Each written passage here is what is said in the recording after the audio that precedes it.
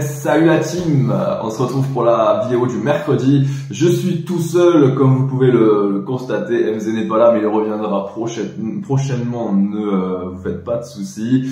Et euh, au préalable, je vais quand même vous dire que je vais pas traiter les 14 matchs de la carte. Ça fait beaucoup trop, ça fait une trop longue vidéo. Il y a beaucoup trop à dire. Je vais partir sur une euh, courte sélection, enfin une courte sélection. J'ai réduit la carte de moitié avec 7 matchs, 7 matchs au programme qui me paraît plutôt euh, plutôt mieux dans la compréhension de de, de, de, de, cette carte. Et puis comme je vous l'ai dit, 14 matchs après, ça fait long, c'est c'est plutôt euh, c'est plutôt complexe et honnêtement je préfère je préfère me focus sur des confiances sur des matchs que je sens plus ou moins plutôt que de partir à droite à gauche. En plus il y avait beaucoup de beaucoup de matchs où des équipes étaient en back to back parce que c'est la journée euh, c'est la journée avant Thanksgiving et la NBA a décidé comme à son habitude de bombarder le, euh, le calendrier dans la mesure où il y, a, il y aura très peu de matchs très peu de matchs demain au préalable, je vais partir avec The Bet. The Bet aujourd'hui, The Bet qui vous propose un dépôt doublé jusqu'à 100 euros. Vous déposez 100 euros, vous recevez 100 euros de free bet en crédit de jeu non retirable. Profitez-en avec le code RDJX2. Le lien sera en dessous dans la petite descriptive de la vidéo. Voilà, c'est parti. On est parti, les amis. Charlotte Washington, première affiche de cette carte pour ma part, direction donc la Caroline du Nord. Euh, Charlotte Washington, Charlotte reste sur un magnifique succès contre les Celtics, euh, contre les Celtics de Boston, un succès que bon, c'était personne n'avait trop vu euh, trop vu venir hein, celui-ci. Charlotte était au fond du trou, Boston Boston était en back to back donc ils ont plutôt ils ont galère, ils ont pas répondu au défi au défi physique hein, de, de, de. Les on le sait c'est une équipe qui court partout, un peu faux folle et quand on est un peu fatigué c'est compliqué d'aller jouer là-bas. Ils ont perdu. Et euh, donc Charlotte a gagné un match de prestige 121 à 118. Honnêtement, j'ai tendance à dire qu'il ne faut pas miser sur euh, sur Charlotte lorsqu'ils sont favoris, mais là en l'occurrence, après une telle prestation, moi je pars sur euh, sur Charlotte, d'autant plus qu'ils vont jouer une équipe de Washington qui elle est dans la panade, deux victoires, 11 défaites, 14e de conférence Est, une seule victoire en déplacement, 1-6 et une victoire de une série en cours de 6 défaites consécutives. Voilà. Je pense que très clairement, cette équipe de Charlotte est capable de le faire à la maison. Deuxième affiche, Nola Sacramento. New Orleans a détruit cette pauvre équipe de, de Sacramento euh, il y a 48 heures. Les deux équipes se, jouent donc une deuxième fois. Euh, le contexte était différent. Je sais pas si vous l'avez vu, Sacramento était en back-to-back. Ils avaient joué 5 matchs euh, en 7 jours. C'était donc une équipe fatiguée qui avait à peine posé les valises dans le bayou, qui se présentait euh, du côté de New Orleans. Et ils ont pris 129-93. On sentait une équipe fatiguée, rincée et qui était complètement à côté de la plaque. Là, 48 heures plus tard, je pense que ça va être une autre limonade. Sacramento est meilleur, il y a une meilleure cohésion, peut-être pas en termes d'effectifs, hein, mais il y a une meilleure cohésion. Euh, ils font troisième de conférence Ouest l'année dernière, c'est pas pour rien. Et du côté des Pelicans, toujours pas de CJ McCollum. Moi, ce sera ma confiance de la carte, même Sacramento qui prend sa revanche du côté de New Orleans pour une très belle cote en temps réglementaire à 1,84. Cleveland Miami, troisième affiche. Rendez-vous dans l'Ohio, donc euh, Cavaliers Heat, 1,96 pour Cleveland je comprends pas trop trop. Je trouve qu'ils sont vraiment pas respectés à la maison. Euh, c'est quand même une équipe qui est très solide euh, dans son entre. L'an dernier, on parle quand même d'un 31-10, donc 60, plus de 75% de victoire euh, chez elle. Là, les débuts en à, la maison sont pas non plus terribles, terribles. 3-3, mais ça va vite revenir à, en positif. Du côté de Miami, l'équipe est en positive en déplacement, mais honnêtement, ce que montre Cleveland est très sérieux ces derniers temps. 4 victoires consécutives en NBA et ce soir potentiellement le retour de Donovan Mitchell.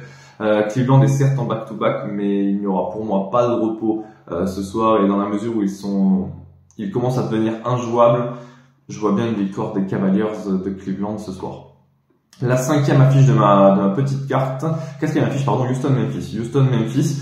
Alors là, il y a beaucoup d'absence du côté de Memphis, mais moi je vais miser sur le syndrome Houston, c'est-à-dire que quand on commence à perdre, on ne s'arrête plus de perdre. Et généralement ils le font très très bien euh, nos amis nos amis texans. Et euh, là en l'occurrence ils ont ils ont perdu euh, ils ont perdu trois matchs de rang après une très belle série à la maison où ils avaient remporté six matchs de rang. Et là en l'occurrence ils ont perdu les trois derniers. Alors oui c'était très court hein, contre les Clippers, les Lakers et les Warriors. Au max ça s'est joué à 5 points d'écart, mais je pense que les Rockets ils vont ils vont flancher et Memphis de son côté retrouve une un semblant de régularité avec deux victoires lors des quatre derniers matchs. Memphis, qui plus est, n'a toujours pas remporté le moindre match à la maison, mais en déplacement, c'est pas trop mal. Trois victoires, quatre défaites. Je vois bien une réaction de, Memphis aujourd'hui. Alors la cote, euh, je suis pas parti sur Memphis en sec qui était à 2,60. Je suis parti sur un Memphis plus 7 pour assurer à 1,55. Atlanta Brooklyn, ma cinquième affiche. Atlanta Brooklyn, euh, je vais partir sur la surprise Brooklyn. Je vais vous dire, je vais vous dire rapidement pourquoi. Atlanta, Atlanta fait du Atlanta, ils le font régulièrement, ça, cartonne en début de saison, et après on se rend compte qu'il manque un peu de tout dans cette équipe, et au final quand on regarde le groupe d'Atlanta, Honnêtement, moi, quand je le vois, j'ai juste l'impression qu'ils ont juste perdu John Collins à l'intersaison. Ils se sont juste amoindris. Au contraire, ils ne se sont absolument pas renforcés. Et euh, ce n'est pas pour rien qu'ils ont perdu un troisième match de rang récemment. Et euh, c'était euh, hier soir. Ils ont ils se sont mangé quand même un 152, 157 contre Indiana. Aucune défense du côté d'Atlanta et d'Indiana, ça on le savait. Mais 152, 57, ça va faire mal dans les têtes, Atlanta euh, a perdu son quatrième match consécutif euh, en NBA à la maison, ce qui va probablement laisser des traces. Ils seront en back-to-back.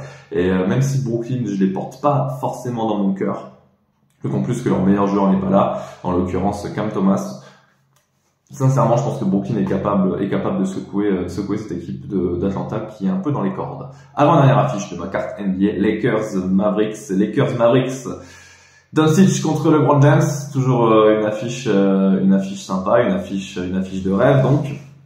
Et euh, pour ce soir, des Lakers en back-to-back qui pour moi montrent leurs limites régulièrement contre les meilleures équipes pourraient s'incliner face à un Dallas qui certes n'est pas au mieux avec deux défaites de rang mais qui aura l'avantage de ne pas avoir joué la veille et Mine de rien, Dallas perd deux matchs contre Milwaukee et Sacramento. C'est quand même des gros morceaux, tandis que les Lakers sont pas trop trop testés depuis le début de la saison. Moi, je pars sur un succès, euh, un succès de Dallas aujourd'hui. On et je vais parler, pour terminer, du Spurs Clippers. J'avais pas trop l'intention d'en parler parce que les cotes étaient pas ouf ouf, donc j'ai regardé un peu à, droite à gauche ce que proposent les, euh, les, euh, les et en l'occurrence The Bet. Euh, bien entendu, il faut en parler. On va parler quand même de, Wemby comme d'habitude, qui a sorti une performance moribonde lors du dernier match euh, avec euh, avec ses Spurs de, San Antonio. Le temps pour lui, hein, comme je l'ai dit, de s'adapter dans une franchise qui ne joue forcément pas grand-chose, qui ne défend pas. 27 minutes, 3.4 passes, 9 points pour Wemby. Il y a 48 heures contre les Clippers de LA les Spurs se mangent des, corrections offensives à droite à gauche. 4, sur les quatre derniers matchs, ils ont pris 120 points ou plus. Je vois pas pourquoi euh, les Clippers ne seraient pas capables de leur mettre 120 points, 119,5 points, plus de 119,5 points en faveur des Clippers pour une cote à 1,67 me paraît judicieux. Voilà, j'en ai terminé. Je vous souhaite euh, une excellente, une excellente journée. Le temps pour moi de vous rappeler que les jeux d'argent sont interdits pour mineurs et qu'il faut miser en fonction de ses moyens. Toujours un plaisir de vous retrouver et merci de partager vos avis dans les commentaires. Ciao ciao les amis